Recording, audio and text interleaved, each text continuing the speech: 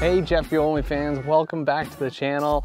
I'm bringing you something a little different today. We're not working on cars, we're gonna be working on garage. That's right, this is the first of multiple videos where we're gonna be covering the update to my 1970s garage. That's right, I'm gonna tell you all about it and the scope of work up next.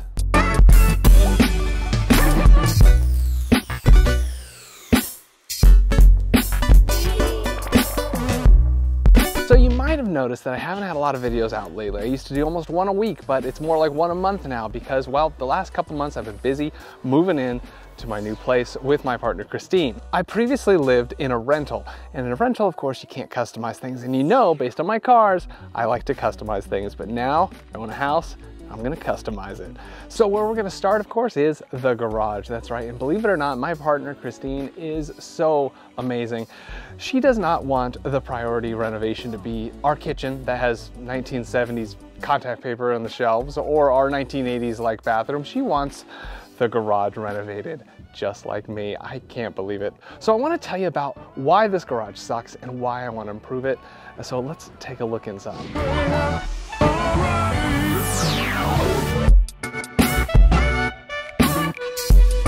So this house was built in like 78 or 79, I think. Uh, and uh, the garage probably hasn't changed much since then.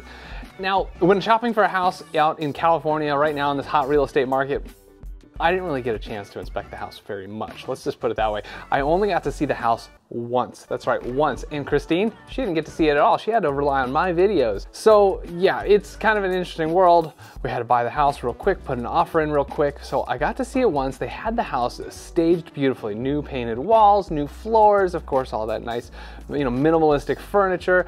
But where were the people that lived here? Where was their stuff? It was all in this garage. You have to try to check out this pile. Now mine would probably look like that too if I had to put my whole house into the garage, but it didn't give me the opportunity to look closely at the garage. So I kind of saw like some silvery ducting work, but I didn't really get to see the rest of the garage. And it's a big deal to me. I know they pile up the garages because they think that most people don't care. I care. I also care about the driveway. Check this out. We live on a sloped hill here and our driveway is not too, you know, steep here to go from the street to the driveway, but it is enough that it's very difficult for the Porsche. I have to do it exactly the right angle, but the Cadillac seems to do okay, only occasionally scraping if I do it wrong. Uh, so, I mean, we have walked away from potential houses because I couldn't get in the driveway. It's just how life is for a car person, right? So when we first got the keys to the house, the first thing we saw, of course, was the garage. And we knew immediately something seriously had to change. So let's see what those things are.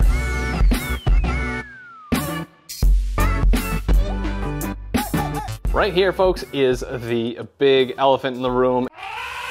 It is our HVAC, our furnace, and our water heater, and these terrible ducts. This was so terrible that I assumed that it was an after uh, market thing, but no, this is how all the houses were built. I've seen some of the other ones in the neighborhood, and yeah, it looks pretty ugly. But it turns out that this system is actually really old. It's over 20 years old. It's pretty much at its end of life. So we thought, you know what, we're gonna have to replace that, and this is a great time to just move the system. That's right, we're gonna take this whole system and we're gonna move it into that crawl space there. We've opened up this hole now. Uh, there was a small door, but there's plenty of room to install the AC system there. And tomorrow they're coming over, they're gonna take this thing out and they're gonna put a whole new, nice, new, more efficient system in there. A new condenser unit, which is gonna be outside on the other side of that window. You can see the condenser line going over the ceiling here. And this is gonna be great because number one, it's gonna free up space. I mean, just look at this return duct down here. That is taking up a ton of space. And of course this, I can totally see me hitting that uh, one late night coming into the garage. So this is gonna be gone and that means all this ducting is going to be minimized. They're gonna be able to move this ducting up and tight against the wall. And today we had our first step in the project and that was having the ceiling drywall removed. We could see these openings up here and these openings allow the new ducting to run between the joists before going into the house and the new ducting is gonna be a little more compact. The same thing applies over here. We're going to push it up tight against the wall. It's gonna be much cleaner and we'll get some new ducts put in. Once all that ducting is tight and smaller against the wall and between the joists, we can build soffits around it so they're not these ugly exposed ducts. Without all this here, it's gonna be a very clean look. But look, we've got this water heater, which so happens to be about 11 years old. If you know anything about water heaters, 11 years old means we're just waiting for something bad to happen here. So it's time to change that too. So we're gonna go with tankless, no, not thankless, tankless water heater. And yes, there's goods and bads to it, but there's goods and bads to these too. And we'll either hang it on the wall here or we're gonna move it outside and it'll be completely bare here. No water heater, no cabinet there, no AC system, no uh, return. It's gonna be great. I'm really looking forward to just that part alone because I've been here for two months and I've only parked the Porsche in here, sorry Cadillac. Uh, there's just been junk everywhere because I can't properly organize and it's killing me because I love organization. I love simplicity. I even do Marie Kondo in the house. You should see my drawers. They're so well organized. So this I can't stand and I can't wait to have a properly done garage. Having a garage like this already is a blessing, especially where I live in a very expensive San Francisco Bay Area. But uh, my last house, the rental, had a tandem garage. I could fit two cars, but they'd be end to end and there was no room to work on either side of the car if I really wanted to work on a special project. And now I've got that space, so that's great. So as I said, the first thing that's been done already, and that was today, is they removed all the drywall on the ceiling, and we're actually gonna remove, or at least refinish all the drywall in the rest of the garage here, but we're also going to get rid of this window. We may change this door to open outward so it doesn't have to be uh, open space over here. I can actually do something with the space, which will probably be some nice storage cabinets.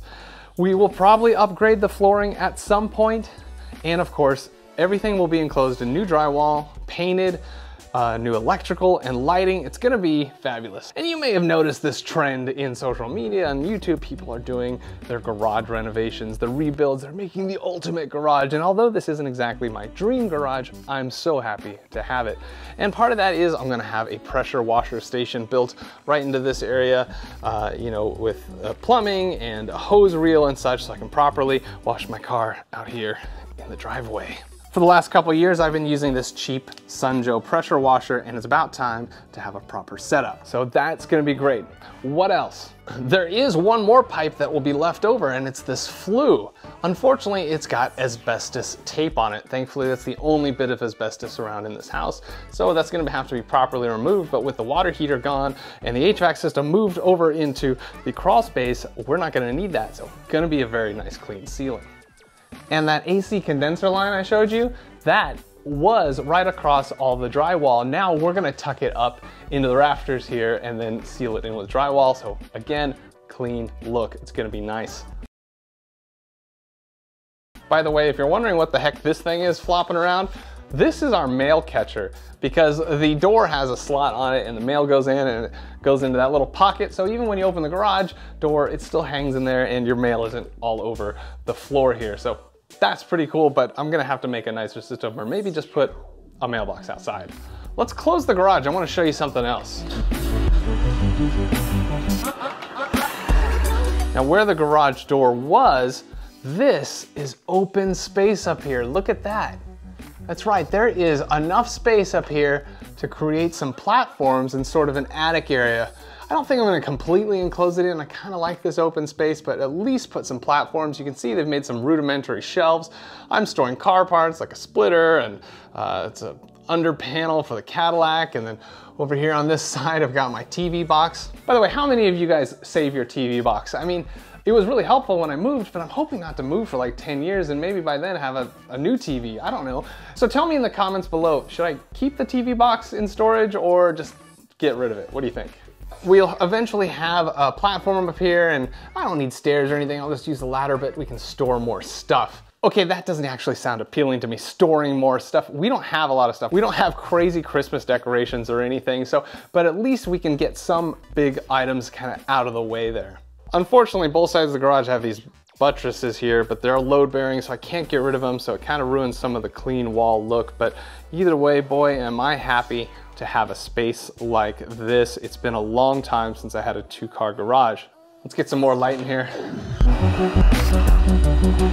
So I hope you'll join me on this journey. It'll be a few videos long where we go through each of the steps. The next video, of course, is gonna be the process of them moving this air conditioning. I'm not gonna be around to do a lot of that footage, but I'm gonna show you what occurs, uh, and then we'll get on to the rest of the renovation. So I hope you're interested. I definitely got plenty of inspiration from Andrew from 911 South. You should check out his YouTube channel, especially if you're a Porsche fan. He's got some cool content.